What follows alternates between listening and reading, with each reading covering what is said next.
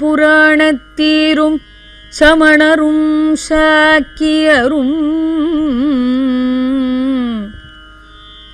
வலிந்து வாது செய்வீர்களும் மற்றும் நும் தெய்வமும் ஆகி நின்றான். மலிந்து சென்னல் கவரி வீசும் திருக்குறுகூரதனுள்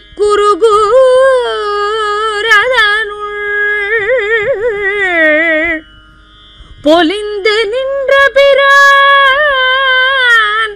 கண்டீர்.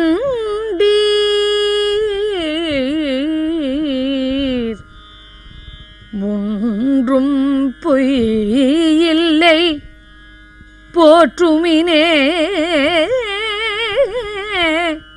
ஆழ்வார் திருவடிகளே சரணம்.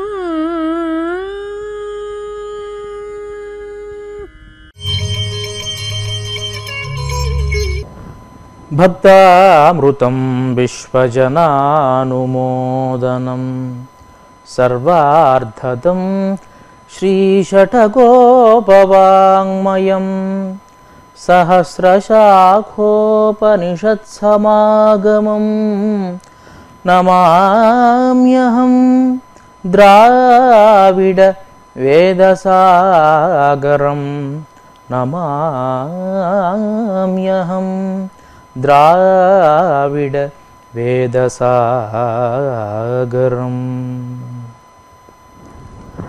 నమ్మాళ్వార్లు అనుగ్రహించినటువంటి తిరువాళ్మిడి అనేటువంటి ప్రబంధంలోని నాలుగవ శతకంలోని పదవ దశకంలోని ఐదవ పాశురాన్ని మనం ఇవాళ అనుసంధానం చేసుకోబోతూ ఉన్నాం இலிங்கத்திட்ட புராணத்தீரும் சமணரும் சாக்கியரும் வலிந்து வாதி செய்வீர்களும் மற்றும் நிம் தெய்வமுமாகி நின்னான் மலிந்து சென்னல் கவரி வீசும் திருக்குருகூரதனுள் பொலிந்து நின்ற பிரான் கண்டீர் ஒன்றும் பொய்யில்லை போத்துமினே நம்மாழ்வார் திருவடிகளே சரணம் ఇలింగత్తిట్ట పురాణత్తీరుం మనకు పద్దెనిమిది పురాణాలు వ్యాస మహర్షి అందించారు పద్దెనిమిది పురాణాలలో ఆరు సాత్విక పురాణాలుగా ఆరు తామస పురాణాలుగా ఆరు రాజస పురాణాలుగా పురాణాలే పేర్కొంటాయి ఈ సాత్విక రాజస తామస భేదం ఎందువల్ల వస్తుంది అంటే వారి వారి ప్రకృతులకు అనుగుణంగా ఆయా పురాణాలు రచించడం జరిగింది. ఒక ప్రశ్న వేసేటప్పుడు ప్రశ్నని బట్టే సమాధానం వస్తుంది. నాకు మంచి ఏదో చెడేదో తెలియదండి. మీకు మంచిగా తోచినటువంటిది లేకపోతే మీకు చాలా గొప్పగా తోచినటువంటి విషయాన్ని తెలియజేయండి అన్నప్పుడు ఒక సమాధానం వస్తుంది. అలా కాదండి. నాకు ఫలానా వ్యక్తి గురించి తెలియజేయండి అన్నప్పుడు ఒక సమాధానం వస్తుంది. ప్రశ్నని బట్టే సమాధానం ఏర్పడుతుంది. వేదవ్యాస మహర్షి పద్దెనిమిది పురాణాలలో రకరకాల దేవతల మాహాత్మ్యాల్ని తెలియజేయడం జరుగుతుంది. సాత్విక పురాణాలలో విష్ణువు యొక్క మహాత్మ్యాన్ని రాజస పురాణాల్లో బ్రహ్మ యొక్క మహాత్మ్యాన్ని తామస పురాణాల్లో శివుడు అగ్ని మొదలైనటువంటి దేవతల మహాత్మ్యాన్ని తెలియజేశారు వేదవ్యాస మహర్షి. మరి ఈ వ్యత్యాసం ఎందువల్ల వచ్చింది అంటే అడిగేటువంటి పృచ్ఛకులు ఎప్పుడైతే అలా అడుగుతారో మనకు విష్ణు సహస్రనామంలో ధర్మరాజు భీష్ముణ్ణి అడుగుతాడు. పవిత్రాణం పవిత్రం యహ మంగళానాంచ మంగళం భవత పరమోమత కింజపన్ ముచ్యతే జంతు జన్మ సంసార బంధనాత్. ఈ లోకల్లో ఉండేటువంటి జంతువులన్నీ కూడా ఎవరిని జపం చేస్తే జన్మ సంసార బంధనాత్ ఈ సంసారం నుంచి విడబడతాయో ఆ విషయాన్ని నాకు తెలియజేయి. భవత పరమోమత నీకు గొప్పదైనటువంటి మతం ఏదైతే ఉందో దాన్ని తెలియజేయి.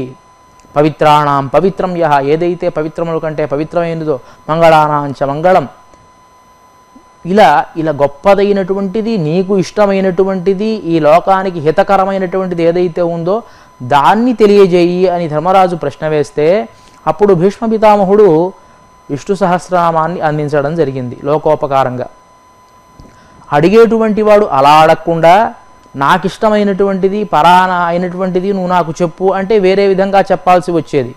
అలా అడగల ఆయన నీకు ఇష్టమైనటువంటిది ఈ లోకానికి హితకరమైనటువంటిది ఏదైతే అనుసంధానం చేస్తే ఇక్కడ ఉండేటువంటి సమస్త జీవజాలము ముక్తిని పొందుతుందో అలాంటివంటి అలాంటిది అలాంటి విషయాన్ని తెలియజేయి అని ప్రశ్న వేశాడు. అలాగే ఇక్కడ విష్ణు పురాణము మొదలైనటువంటి పురాణాలన్నీ కూడాను ప్రశ్న సాత్వికంగా వేయడం జరిగింది. యన్మయంచ జగద్బ్రహ్మన్ చరాచరం తేనమాసీద్యథా ఎత్ర లయమేష్యతి ఎత్రచ ఈ జగత్తంతా కూడాను ఎక్కడి నుంచి పుడుతోందో ఎక్కడ లయమవుతుందో ఈ ఇదంతా కూడా ఈ ప్రయాణం అంతా ఈ జగత్తు యొక్క ప్రయాణం అంతా ఎలా జరుగుతోందో ఆ విషయాన్ని తెలియజేయవయ్యా అంటే అప్పుడు సమాధానంగా విష్ణో సకాశాత్ ఉద్భూతం అని సమాధానం. అంటే ఈ జగత్తంతా కూడాను విష్ణువు నుండి పుట్టింది. జగత్తత్రైవ చ స్థితం. ఈ జగత్తంతా కూడాను ఆయన దగ్గరే ఉన్నది. స్థితి సంయమకర్త అసౌ జగతోస్య జగత్య సహ ఈ జగత్తునంతటినీ కూడా స్థితి సంయమకర్త సృష్టించేటువంటి వాడు కాపాడేటువంటి వాడు లయం చేసేటువంటి వాడు అసౌ జగత అస్య జగచ్చ. ఆ పరమాత్మే ఈ జగత్తంతా కూడాను ఆయనే ఈ ప్రపంచాన్ని నడిపేటువంటి వాడు అని సమాధానం వచ్చింది. ప్రశ్న ఎలా ఉంది? ఈ లోకమంతా ఎక్కడ పుట్టిందో ఎక్కడ ఎలా జరుగుతోందో ఎలా ప్రయాణం చేస్తుందో తెలియజేయని అడిగాడే తప్ప ఫలానా వ్యక్తి గురించి గొప్పగా చెప్పు అని ప్రశ్న వేయాల. అదే లింగ పురాణము మొదలైనటువంటి పురాణాల్లో అడిగేటువంటి ప్రశ్న ఎలా ఉంది అంటే తస్మాత్ భవంతం పృచ్ఛామహ సూత పౌరాణికాద్యతు పురాణ సంహితా పుణ్యాం లింగ మాహాత్మ్య సంయుత. మేమంతా అడుగుతున్నామయ్యా మాకు లింగ మాహాత్మ్యాన్ని తెలియజేయవలసింది అని అడగడం ప్రారంభమైంది. అంటే అడిగేటువంటి వాళ్ళే మాకు లింగ మాహాత్మ్యాన్ని తెలియజేయి లేకపోతే బ్రహ్మ యొక్క మాహాత్మ్యాన్ని తెలియజేయి లేకపో లేకపోతే వినాయకుడి యొక్క మహాత్మ్యాన్ని తెలియజేయి లేకపోతే అగ్ని యొక్క మహాత్మ్యాన్ని తెలియజేయి. ఇట్లా ప్రశ్న వేసినప్పుడు ఎవరి గురించి చెప్తాడు? ప్రశ్న ఎప్పుడైతే అడిగారో ప్రశ్న ఎవరైతే అడిగారో ప్రశ్న దేనికోసం అయితే అడిగారో అదే విధంగా చెప్పాలి తప్ప ఆయన ప్రశ్న అడిగినా నా సమాధానం నేనే చెప్తా అని చెప్పకూడదు కదా. కాబట్టి అడిగినటువంటి వాళ్ళకి ఇష్టమైనటువంటి విషయాన్ని చెప్పడమే ఉపన్యాసకర్త యొక్క బాధ్యత. పృచ్ఛకుడు ఏదైతే అడుగుతాడో అదే చెప్పాలి. అలా కాకుండా నీకు ఇష్టమైనదేదో లేకపోతే ఈ లోకానికి ఉపకారమైనటువంటిదేదో ఈ లోకంలో ఉండేటువంటి వాళ్ళందరూ కూడా ఉద్ధరింపబడాలి అంటే ఉండేటువంటిదేదో ఆ విషయాన్ని తెలియజేయి అన్నప్పుడు నిష్పక్షపాతంగా నిస్వార్థంగా తాను అలాంటి విషయాన్ని తెలియజేయాలి. కాబట్టి ఇక్కడ ఆళ్వార్లు చెప్తున్నారు కదా ఇలింగత్తిట్ట పురాణ తీరుం. లింగ పూజను చేసే చెప్పేటువంటి పురాణాల యందు ఆదరం కలిగినటువంటి మీరంతా కూడా మీరే కాదు శమణరుం నగ్లునైనటువంటి జైనులు శాక్యరుం బౌద్ధులు మలింద్ బలవంతంగా వాదశైవీర్హళుం వాదించేవారంతా కూడా మట్రుం నుం దైవము వాహినిన్నాన్ వాదించేటువంటి వైశేషుకులు మొదలైనటువంటి వారంతా కూడా మీ ఇష్టమైన దేవతలందరూ కూడా శరీరముగా వేయించేసి ఉండేటువంటి వాడు. అంటే ఇక్కడ శరీరముగా వేయించేసి ఉండటము అంటే అంతరాత్మగా తానున్నప్పుడు వాళ్ళు శరీరంగా ఉంటారు. ఇప్పుడు మనం ఉంటాం. మనకు ఒక శరీరం. ఈ శరీరంలో ఒక జీవుడు. ఆ జీవుడిలో అంతరాత్మగా తానున్నప్పుడు ఆ అంతరాత్మకు ఈ శరీరమే శరీరం అవుతుంది. ఈ ఆత్మే శరీరం అవుతుంది. ఆత్మకు శరీరం ఈ బయట కనబడేటువంటి శరీరం.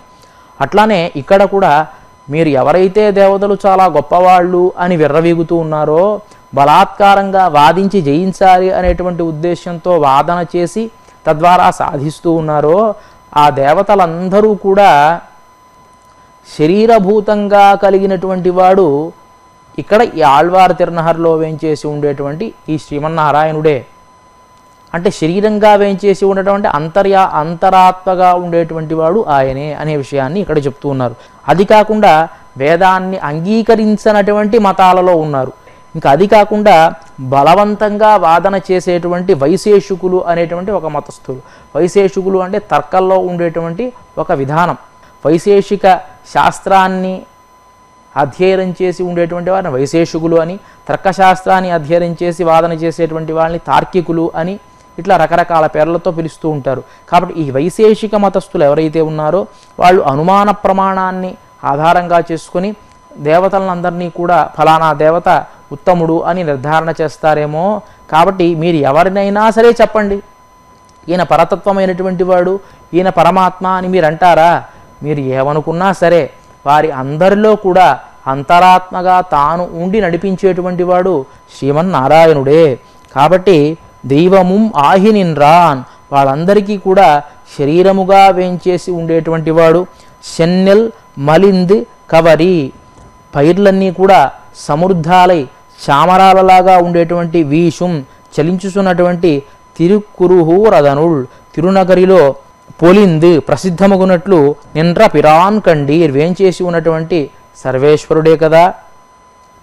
పరమాత్మ మరి ఈ అర్థమునందు ఒకటియు పొయ్ ఇల్లై పోత్తుమిన్. ఒకటి కూడా అబద్ధము కానే కాదు. నేనేదో స్వార్థంతో వాదిస్తున్నాను అని మీరు అనుకుంటున్నారేమో కానే కాదు.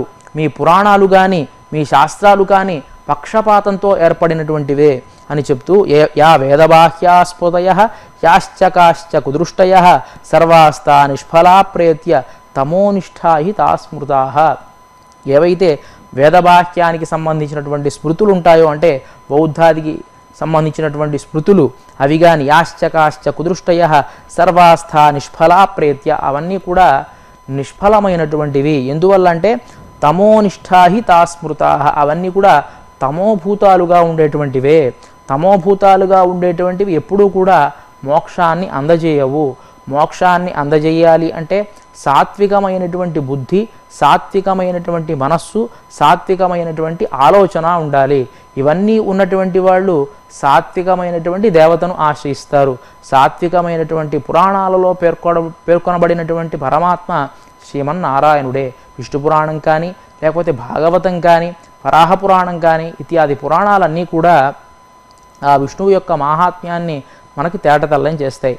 మరి అలాంటి ఆ సాత్విక పురాణాలలో ప్రతిపాద్యుడైనటువంటి అంటే ఎలాంటి పక్షపాతము లేకుండా పేర్కొనబడినటువంటి ఆ పురాణాలలో ప్రతిపాద్యుడైనటువంటి ఆ శ్రీమన్నారాయణుడే పరమాత్మ.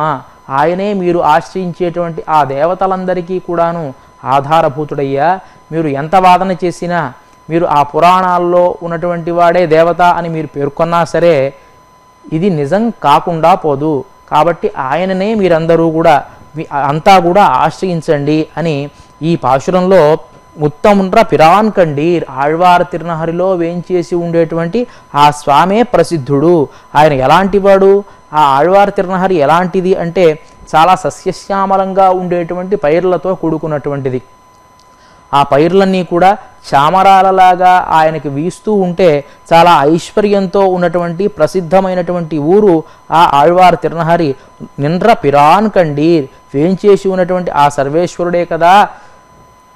ఈ అర్థమునందు ప్రకాశించేటువంటి వాడు. అంటే మీ దేవతలందరికీ కూడా ఆధారభూతుడైనటువంటి వాడు. కాబట్టి మీరు ఎంత ప్రయత్నం చేసినా ఆ పరమాత్మను అంగీకరించక తప్పదు. ఆయనే పరతత్వము. ఆయనే పరమాత్మ. కాబట్టి పొయ్యిల్లై పోత్తుమిన్. నేను ఏది కూడా అబద్ధం చెప్పట్లేదు పోత్తుమిన్. కాబట్టి మీరు ఆ విషయాన్ని తెలుసుకొని నేను ఏదో ఖ్యాతిలాభ పూజలకు లోబడి చెబుతున్నాను అని అనుకుంటారేమో నేను దేనికి లొంగనటువంటి వాడిని? పోత్తుమిన్. మీరు కూడా ఆ విషయాన్ని తెలు తెలుసుకొని నేను అబద్ధము చెప్పనే చెప్పను అనే విషయాన్ని తెలుసుకొని మీరు ఆశ్రయించండి.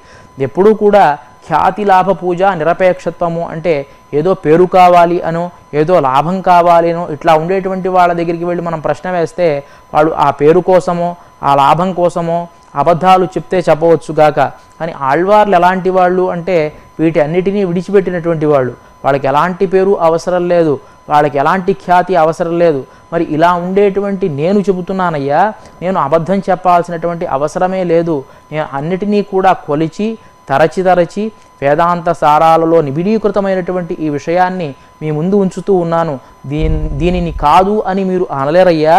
కాబట్టి మీరంతా కూడాను ఆశ్రయించేటువంటి మీ దేవతలందరూ కూడా గొప్పవాళ్ళు అవుతున్నారు అంటే మీరు చూపించేటువంటి ఆ ప్రమాణాలన్నీ కొంత స్వార్థపూరితమైనటువంటి ప్రమాణాలే. కాబట్టి వాటినన్నిటి విడిచిపెట్టి కనుక మీరు బయటికి వస్తే ఒక్కసారి మీరు చూస్తే ఈ వాదనంతా కూడా మీరు విడిచిపెట్టి ఒక్కసారి బయటికి వచ్చి చూస్తే వేద ప్రతిపాద్యుడైనటువంటి వాడు పురాణ ప్రతిపాద్యుడైనటువంటి వాడు స్మృతుల ద్వారా పేర్కొనబడేటువంటి వాడు ఇతిహాస పురాణాల ద్వారా పేర్కొనబడేటువంటి వాడు అంతరాత్మ శ్రీమన్నారాయణుడే అనే విషయం మీకు తెలుస్తుంది. మీరు ఎంత ప్రయత్నం చేసినా ఇది కాదు అని చెప్పడం కుదరనే కుదరదు. నేను అబద్ధం చెప్పడం లేదు. కాబట్టి పోట్రుమిన్ మీరంతా కూడా ఆ పరమాత్మ యొక్క తత్వాన్ని తెలుసుకొని ఆయన్ని ఆశ్రయించండి. ఇక్కడ ఆళ్వార్ల యొక్క మనస్సు మనకు వ్యక్తం అవుతుంది. మీరంతా ఇదైపోతారు అని అంటే అలా స్థుతించండి మీరు కూడా. ఆ పరమాత్మ యొక్క తత్వం మీరు అర్థం చేసుకోలేకపోతున్నారు. మీరు ఒక పక్కదో పట్టి మీ జ్ఞానం అంధకారంలోకి వెళుతోందే తప్ప మీ మీ జ్ఞానం మీకు వెలుతురుని చూపించట్లా. జ్ఞానం అనేటువంటి పేరుతో మీరు అంధకారంలోకి ప్రయాణం చేస్తున్నారు. కాబట్టి అట్లా కాదు. మీరు ఒక్కసారి ఇట్లా చూడండి అని చెప్పి ఆ పరమాత్మ యొక్క తత్వాన్ని మీరు కూడా తెలుసుకోవాలి అనేటువంటి ఉద్దేశంతో చెప్తున్నానయ్యా.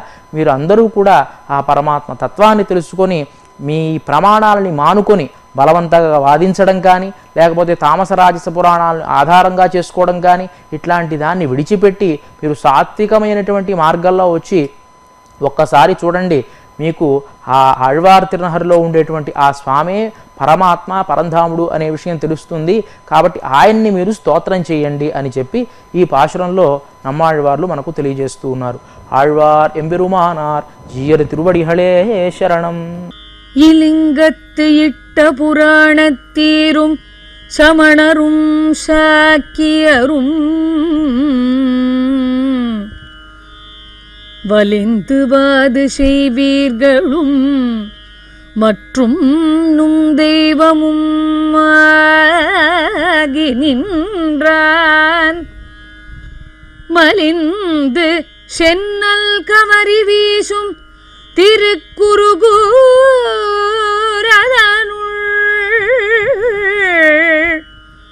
பொலிந்து நின்ற பிரான் கண்டீர். ஒன்றும் பொய்யில்லை. போற்றுமினே. ஆழ்வார் திருவடிகளே சரணம்